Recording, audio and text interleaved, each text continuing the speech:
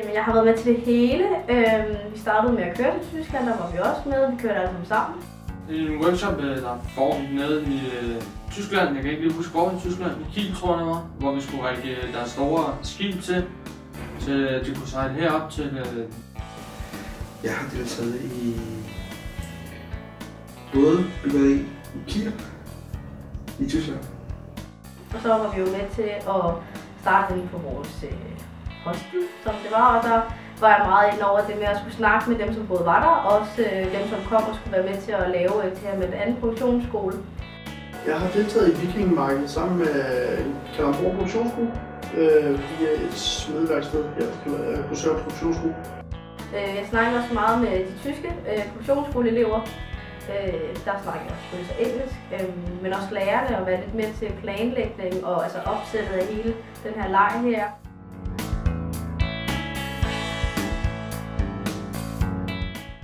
Øh, det jeg husker bedst var, at øh, børnene var rigtig glade for det. Øh, selve aktiviteten synes jeg var sjovt at køre i de her vogne, som vi havde lavet. Øh, og de tyske elever var også med til at hvad det hedder, altså hjælpe til. Der havde de en, som kørte dem, fordi børnene kunne ikke selv køre den store øh, vogn der.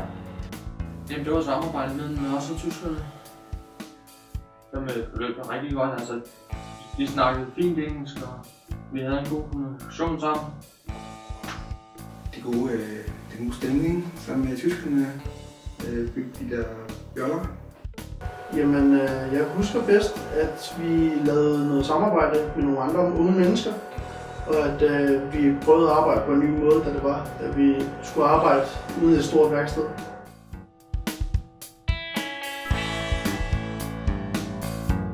Det er de ikke, fordi de kan det samme som os.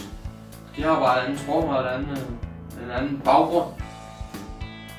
Øh, nu var de jo bare lidt anderledes end os, og så havde de også en lidt anden aldersgruppe, og det samarbejde var fint nok, der var ikke noget der. De var flinke, de unge mennesker, også til at hjælpe øh, og til at tage papiret, øh, hvis det var, man ikke lige ville gå med på, hvad det var, man skulle sige til børnene.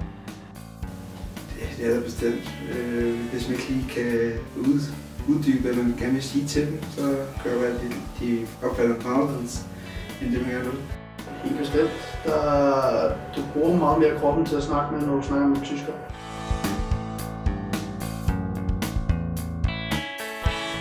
Lærte at smide med blæsebælge, øh, hvor det var, at vi stod og hamrede og formede øh, fadstol. Du joller.